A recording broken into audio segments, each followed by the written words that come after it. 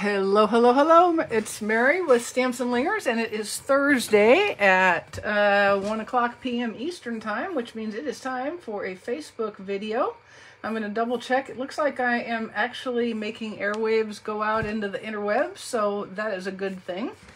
All right, so here's our card for today, and it uses one of my very favorite sets. This is a standalone stamp set, doesn't have dies, doesn't have coordinating DSP, doesn't have anything except a beautiful, beautiful um, leaf and several very pretty fonts. So this is absolutely one of my favorite stamp sets ever called Soft Seedlings. And of course, I don't know why I said of course, because why is of course? That's not even a thing. Hey, Marva. Hi, Faith.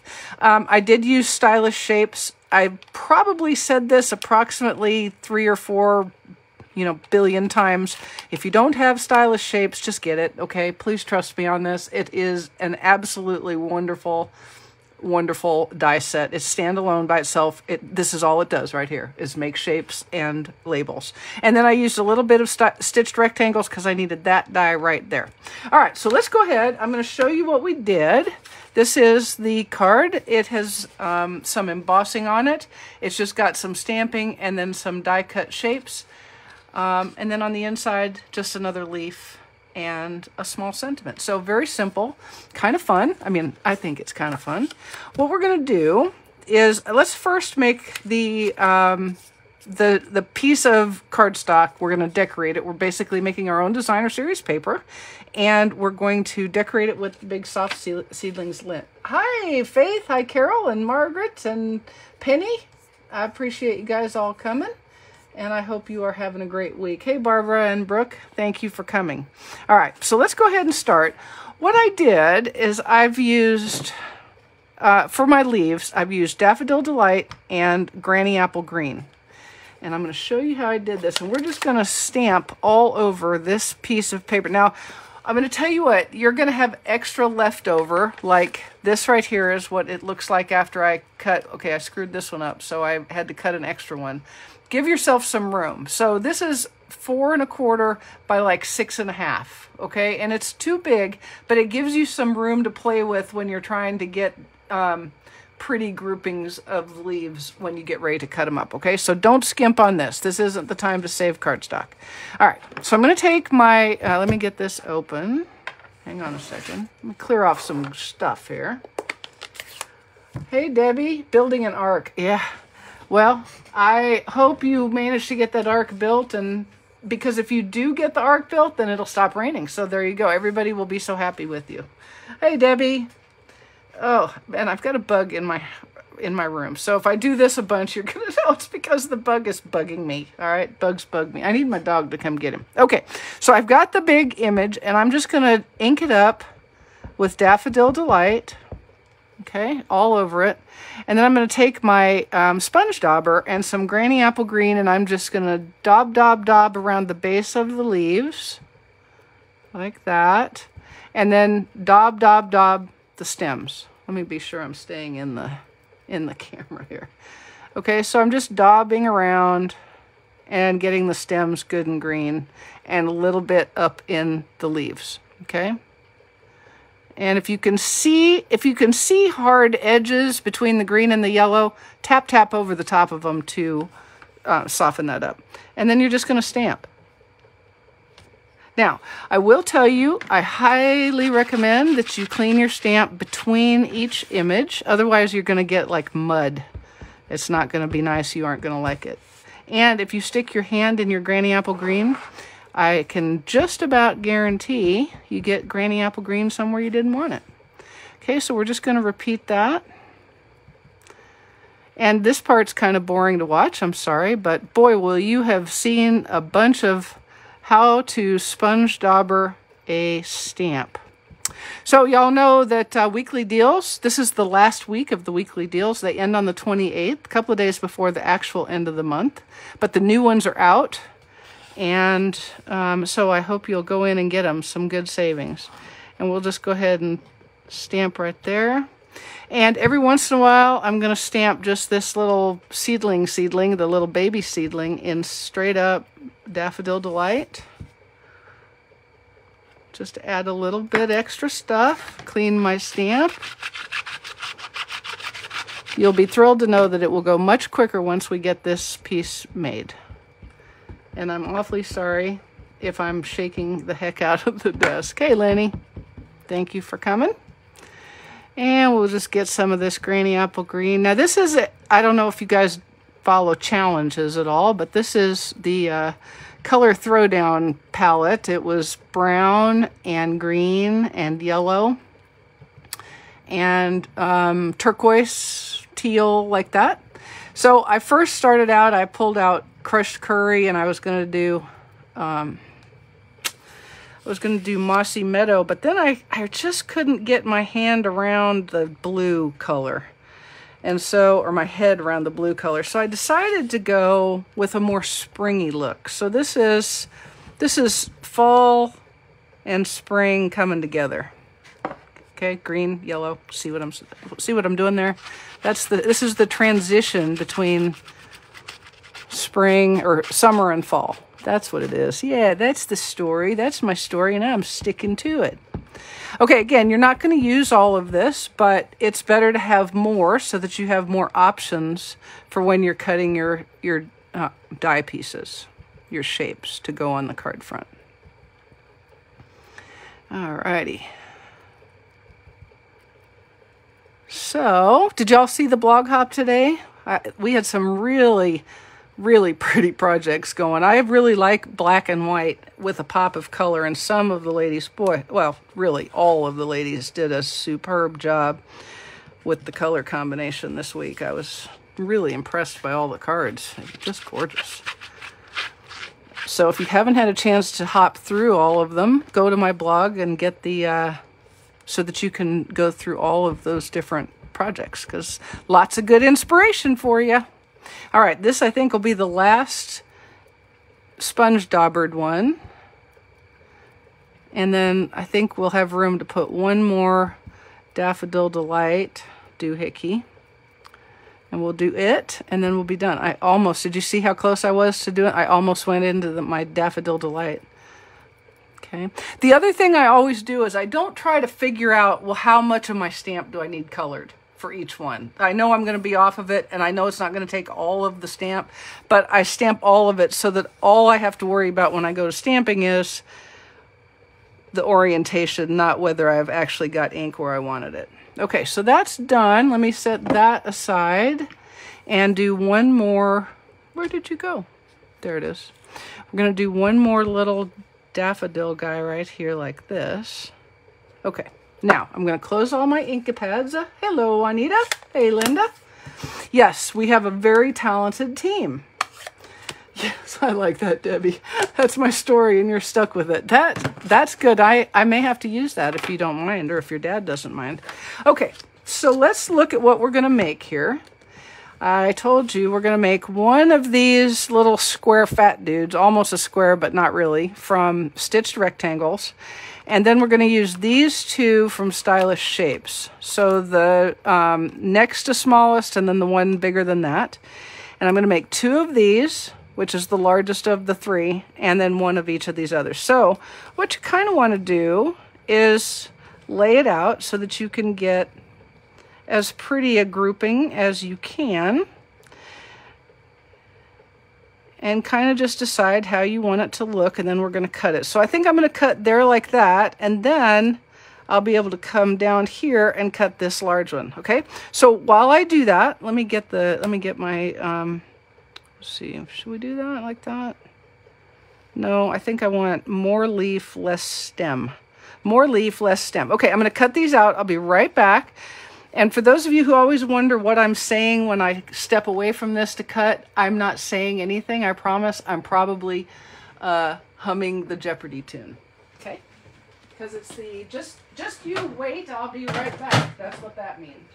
All right. So we're going to get this cut. I'll get my four pieces cut. And then I'll be right back.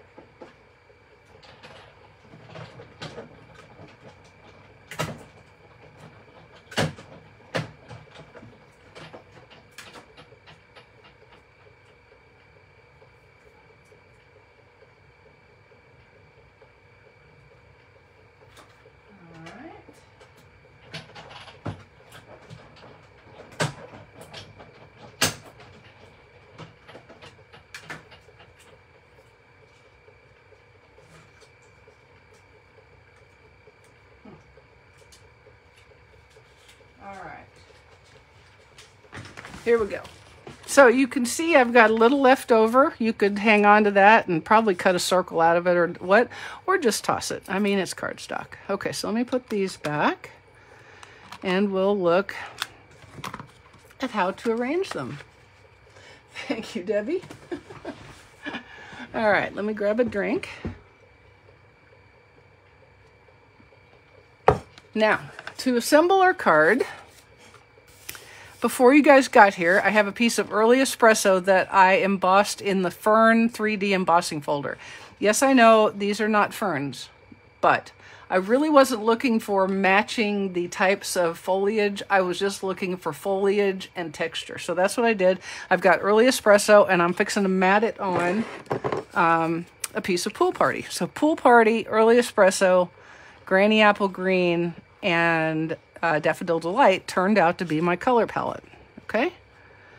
And I liked how this turned out. The the uh, pool party and early espresso for me is a pretty good. It's a good fall combination.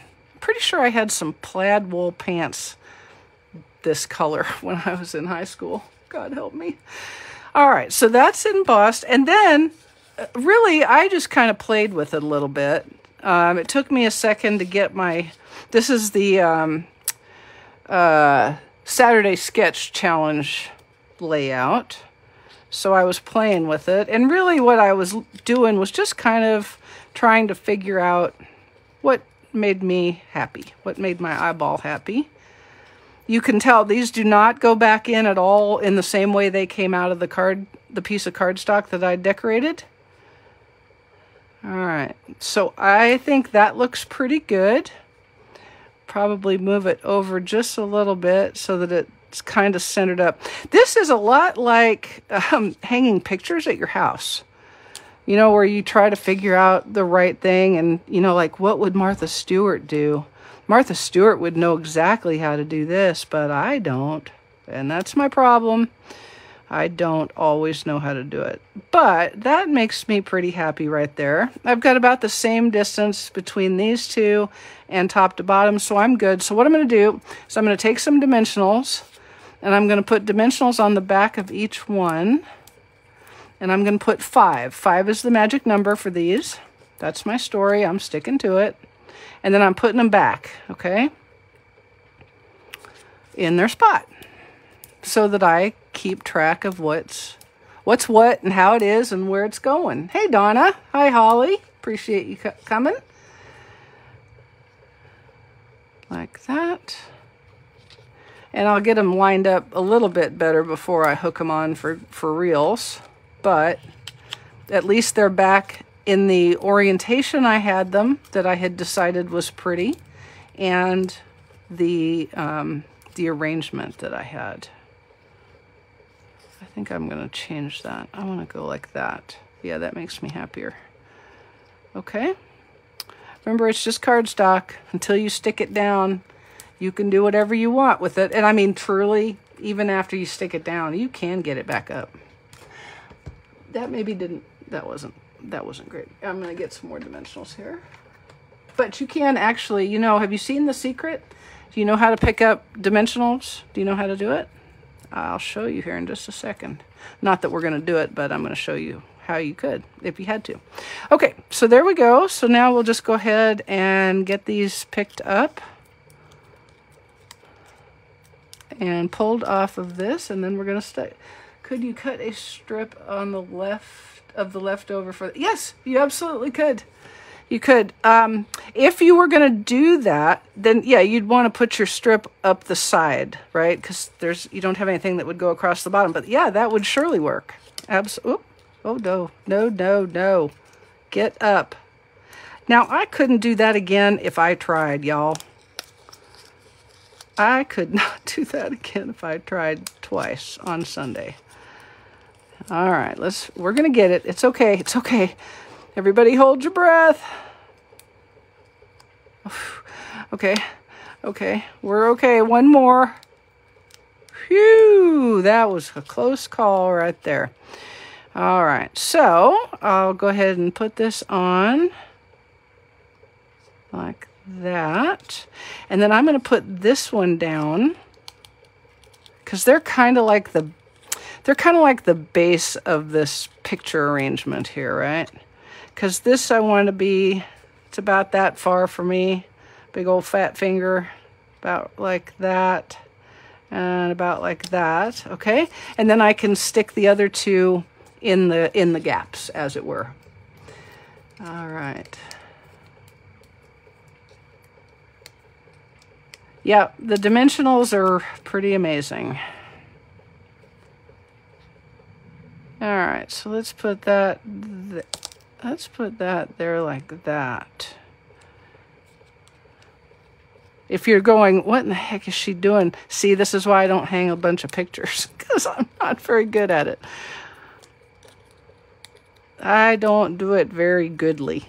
I don't do it very goodly. Okay, so then We'll go ahead and tuck that one in right about there. And I'm trying to make these at least parallel to each other, not skewed lines. See how I use those math terms like that? Pretty amazing, I know.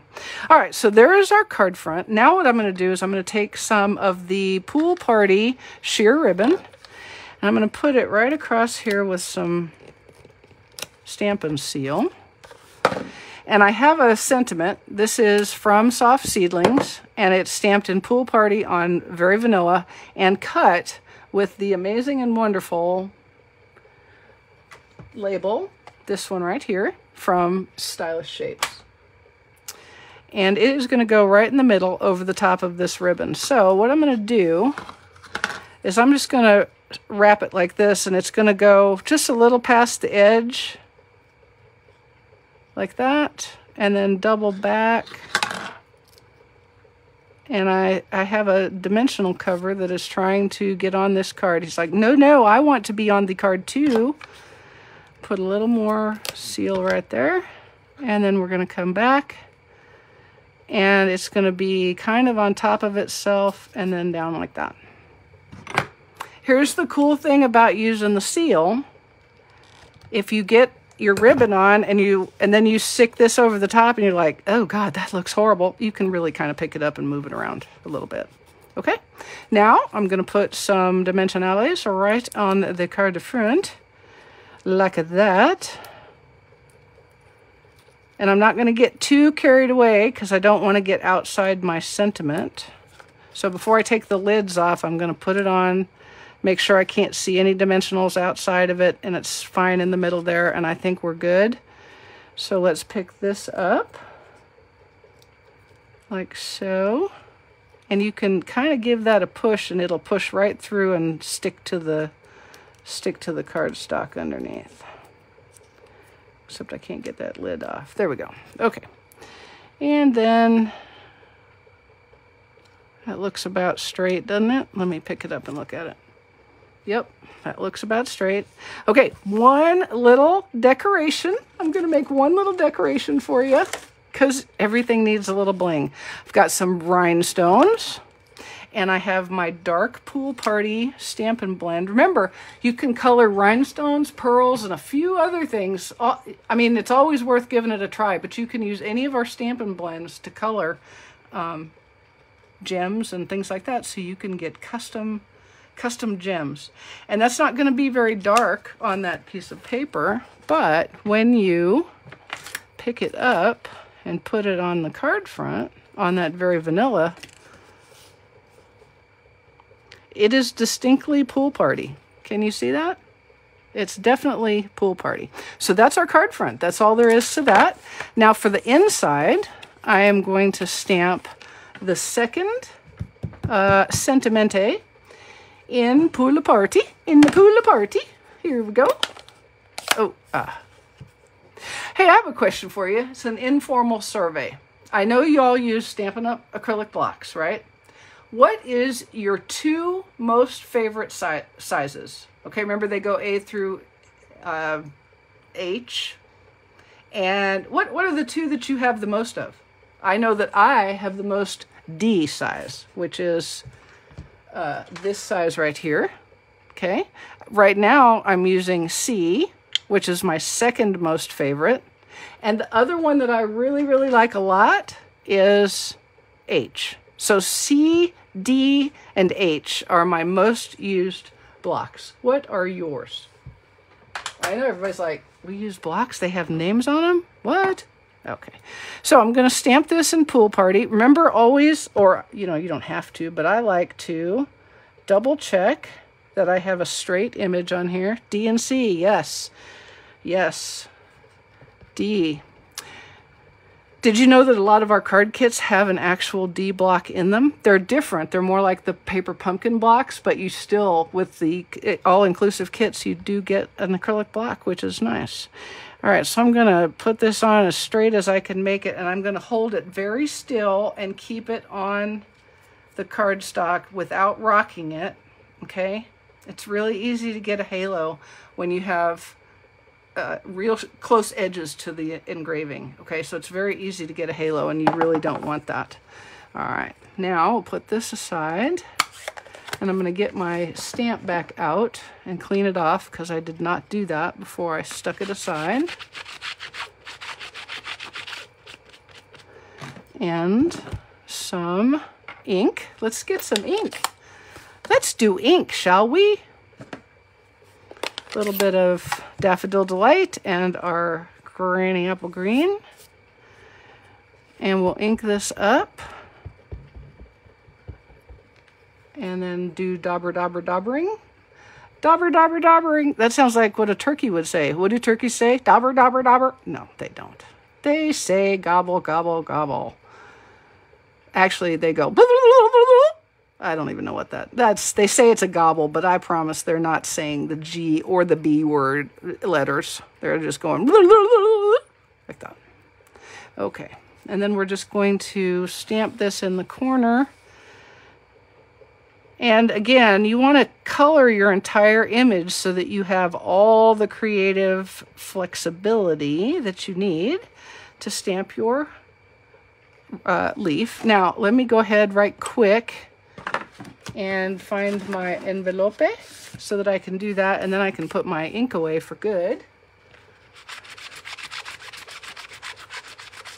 Sometimes I wish they would put grid lines, yes, and sometimes I'm happy they don't. So it just depends on whether it's Tuesday, Thursday, Christmas, a holiday, Halloween. One never knows what I'm really going to wish.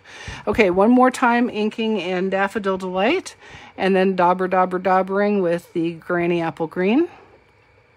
And this is a card that you could very easily do um, change up your colors for your ink for your leaf. You could go straight up fall and do, um, you could do granny, uh, crushed curry and maybe Pool Party or Mango Melody. Not Pool Party. Do not use Pool Party on your leaves. That would be wrong. maybe crushed curry and some, um, I just lost my brain. Mango Melody or Pumpkin Pie. Okay, and here we go. We'll put this on the front of our envelope. And the thing that's so fun about this is that every time you ink it, you get a different leaf, which is exactly how it is in real life, right? exactly how it is in real life. G, E. Oh, G is a good one. I forget about G a lot. I have all of them, but I forget about G. And I don't know why I forget about G. Okay, so on the envelope flap, I thought about pulling out a one of the um, the DSPs for the color packs, and then I thought, nope, I'm just going to stamp my little seedling in Daffodil Delight right there. So this is a completely non-DSP required card.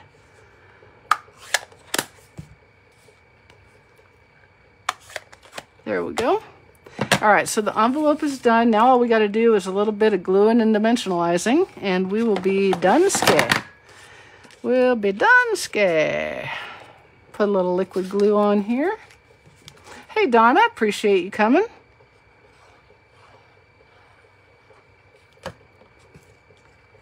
And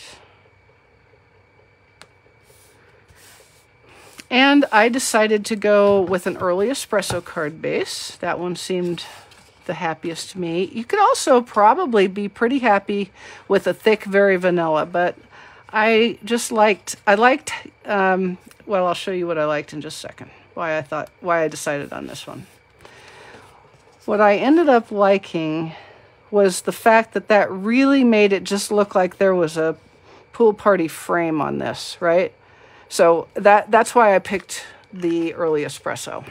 Thank you, Penny. Appreciate that. And then we're going to do some dimensionalating, dimensionalating or dimensionalizing, depend on, you know, tomato, tomato, potato to potato. Neither of them are words. Oop, I just bonked the camera. Sorry. All right. Hello, Rosie. Thank you for coming. I hope your appointment was successful. All right, so one last thing here, which is pulling off these dimensional, cut. and I don't know why I went off of the side like that. I know, well, actually I do, I know, because I don't want the dimensional covers on my card front. And let's make sure this is right side up. Always so disappointing. And there we go. Very calm, very cool, very collected. You know what I'm going to do? I'm going to stick another dimensional under there. I think it feels like it wants a dimensional right there. So I'm going to just take the cover off of both sides and use my third hand here to slide that under like that. And there we go. Oh, look at that. I even put the leaf on at the right spot on the envelope. There you go. All right, so making your own DSP is fun and it's easy, and the Soft Seedlings is a perfect stamp set for it. All right. Okay, guys, I appreciate you spending part of your day with me. I hope you have a great rest of your week and that I will see you on Saturday for my YouTube video at 7 Eastern. All right. Thanks, guys. Ta.